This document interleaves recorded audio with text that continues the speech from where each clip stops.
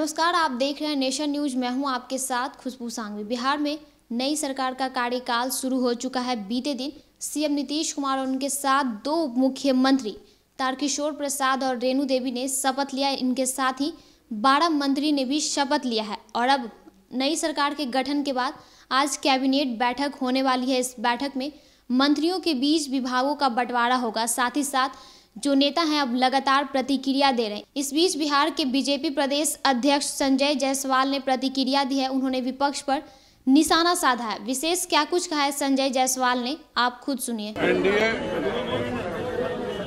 NDA गठबंधन के सभी मंत्रियों को और पूरा विश्वास है कि भारतीय जनता पार्टी जदयू वीआईपी और हम इन चार दलों के गठबंधन को बिहार की जनता ने जिस उम्मीद के साथ जिताया है उस पर सभी बिहार सरकार के मंत्री खड़े उतरने खड़े उतरेंगे।